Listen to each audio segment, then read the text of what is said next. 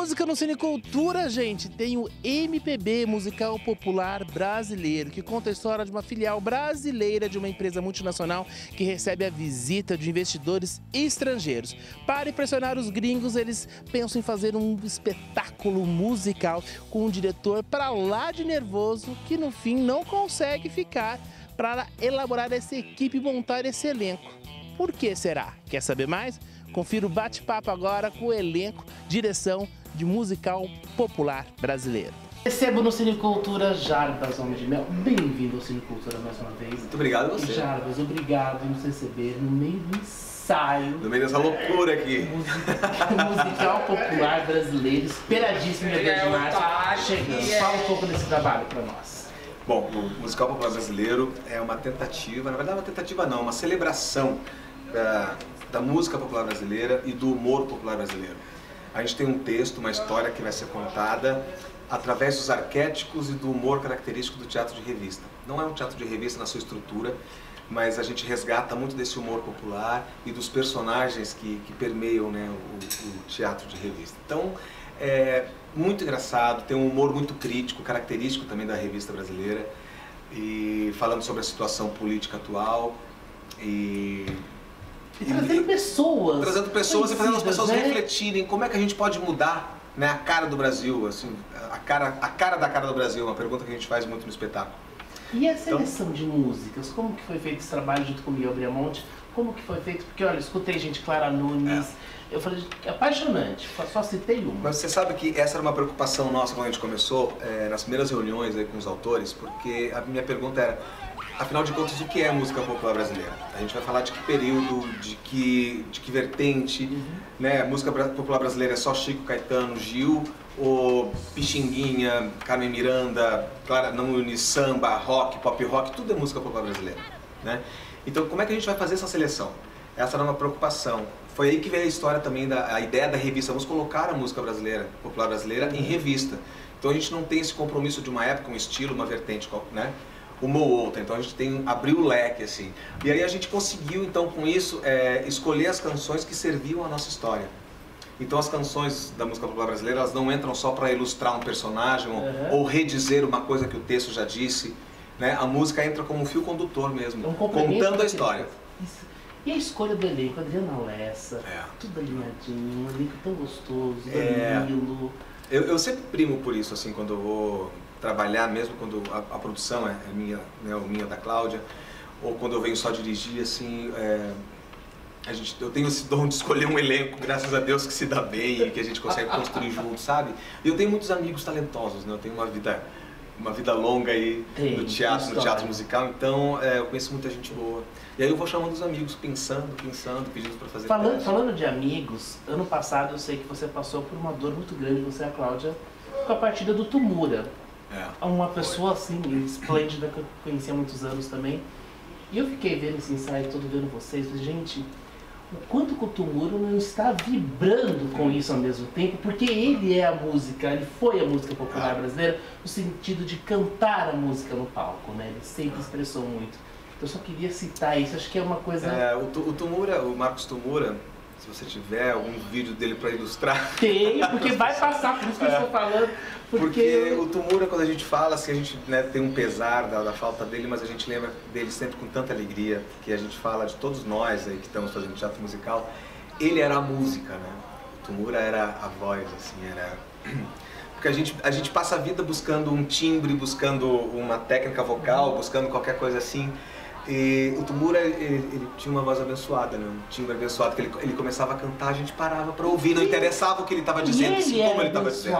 Ele era uma pessoa abençoada, de oportunidades para todas as pessoas, respeito é. que ele tinha pelo ser humano, uma coisa assim. É. Desculpa te perguntar, mas eu acho não, que... Não, eu adoro eu falar sobre ele, porque eu adoro falar sobre ele. Não há como falar, é, ver você e a Cláudia e não falar de Marcos Tumura ao mesmo tempo, é. porque eu sei que teve um significado imenso para vocês como É, um companheiro de, de longa data, né? Ele foi, sabe que eu cheguei em São Paulo em 1994, quando eu vim do Sul, ele foi uma das primeiras pessoas que eu conheci. Ele já trabalhava com a Cláudia. Já. Então a gente tem uma vida assim, é, de companheirismo mesmo, assim, de trabalho e de amizade muito longa, né? Então faz falta demais o japonês. Mas o importante é que vocês é. tocam. E é, esse espetáculo né? é a cara dele. Eu é imaginei, eu imaginei. É. Qual música será que o Tumura ia cantar? Qual que você ia colocar? Esse pupurri da Carmen Miranda, o Tumura fazendo esse.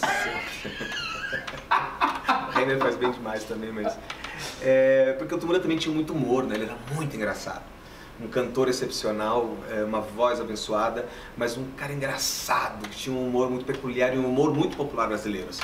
Então ele deve estar vibrando mesmo, porque esse espetáculo é a cara dele.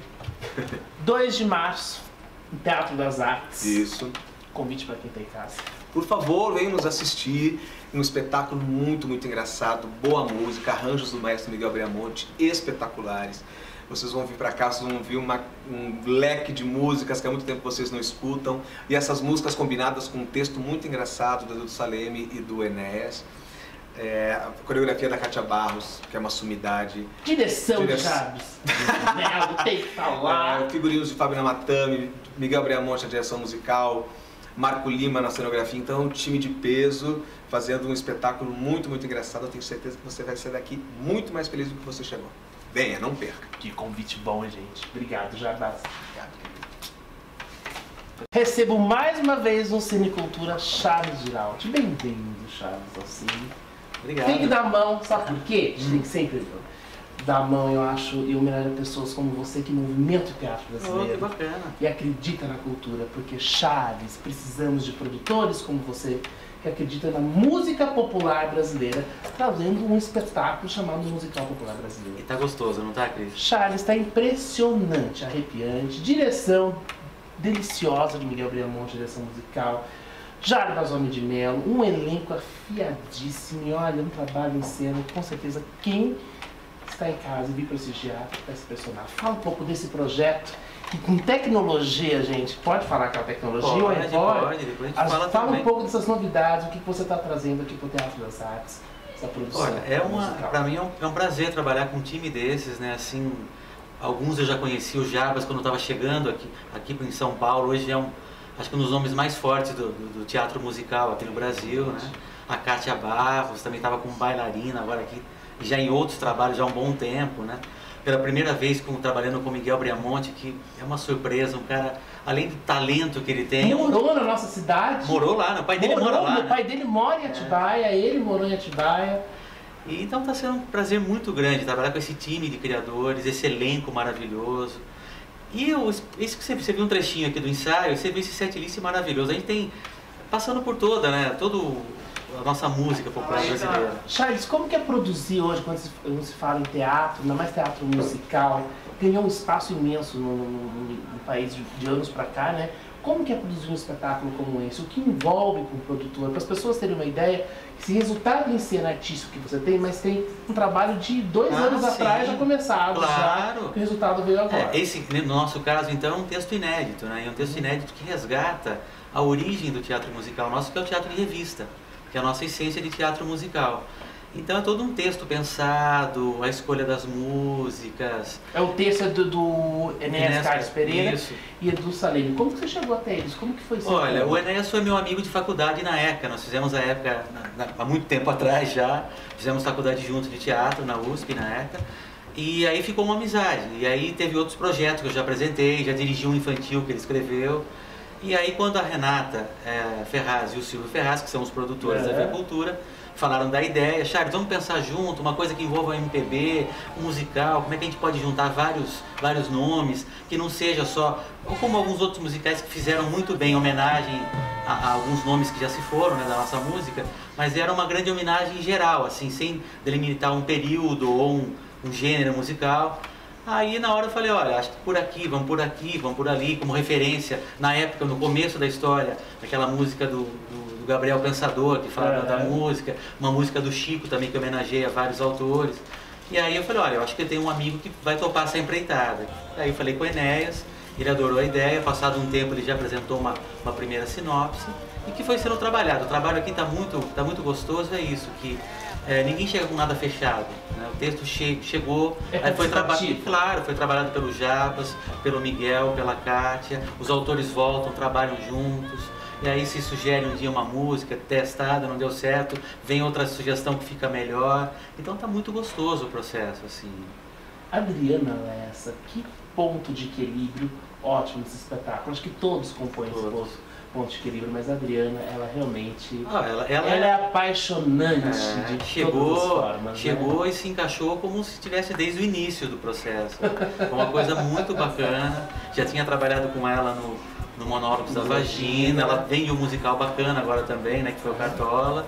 Enfim. Nossa, fez um trabalho lindo. Realmente, é. eu não lembrava do Cartola. É, ela tá... Tava no Rio, inclusive fez temporada no Rio agora, em 2017. Sim, então, fez, fez sim. Muito legal. E foi um espetáculo que teve bastante sucesso. Lindo, lindo, lindo.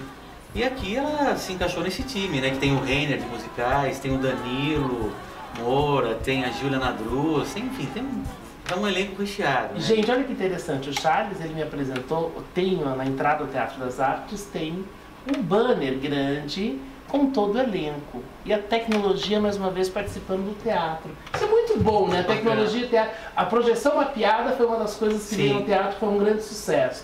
E agora essa questão da divulgação de uma forma diferente. É, mas, é a gente não pode citar, só quem vindo e passando, realmente, passando ali com o celular vai sentir o que é, mas explica mais ou menos essa coisa da realidade ampliada. É, então, essa realidade ampliada, quem, quem abaixar o, o app né, vai, vai ter essa surpresa. A gente tem algumas imagens que a pessoa sinalizando em cima dessas imagens, ela vai assistir vídeo do espetáculo, vai ter acesso a fotos, a uma clipagem, vai, vai poder conhecer o nosso processo desde as audições, ah, passando pelos ensaios, até chegar no espetáculo pronto. É importante a participação do público, cada vez mais entender o processo teatral, né, Charles? Se envolver com o processo teatral porque nós precisamos de público, precisamos atrair mais público. E a tecnologia hoje tem uma fatia muito grande claro. de adolescentes, né? Não, eles ficam ligados o dia inteiro no tal do celular e nos mobiles, né, como se fala. É verdade. E aí, quando chega essa, essa tecnologia, chega e é um atrativo a mais para trazer para dentro da sala de teatro. Que é, essa é a nossa, nossa grande competição hoje, são com todas essas tecnologias. Então, ao invés de lutar contra elas, vamos trazer elas junto com a gente. Né? Gente, muito legal isso. Não tem como a gente expressar para vocês em detalhes, porque é algo realmente você tem que passar. Vem aqui no Teatro das Artes, assistiu o espetáculo onde tudo, aproveita e passa teu celular em frente desse banner que você vai ver que resultado super legal. E o programa da peça também é outra surpresa que vai por essa linha. Vai por essa linha vai também no programa linha. da peça. Você vai poder, no programa no da programa peça... No programa você vai ter tudo isso. Gente, isso é estranho.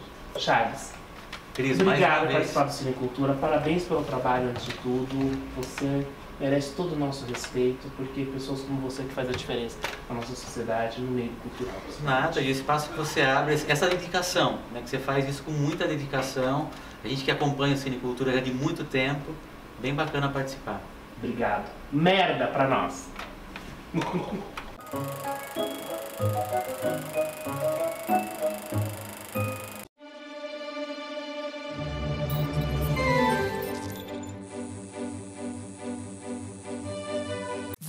no carnaval, devo me vacinar contra a febre amarela?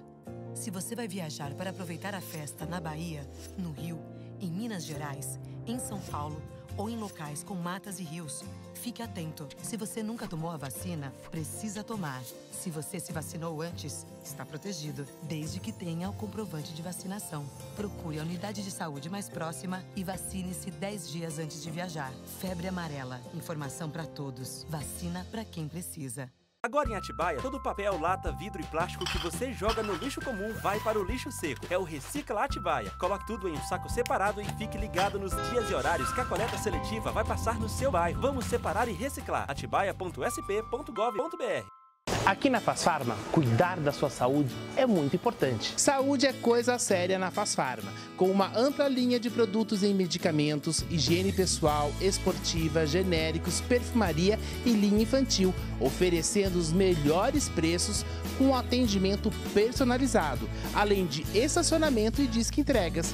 Em Atibaia você encontra duas lojas da rede Fasfarma, no bairro do Ovinópolis e no Jardim Cerejeiras. Ligue no 4412 0525 ou no 4412 4533 e faça o seu pedido.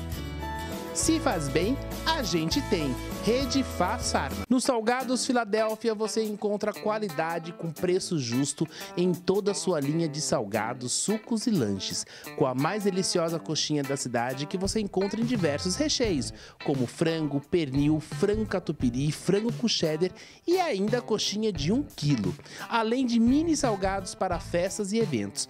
Venha saborear as delícias dos Salgados Filadélfia em dois endereços, na loja 1 que fica na Avenida São Paulo, número 786, e loja 2 na Avenida Major Alvim, número 1200, ou faça a sua encomenda pelo telefone 3402 ou 978. Salgados Filadélfia, qualidade com preço justo.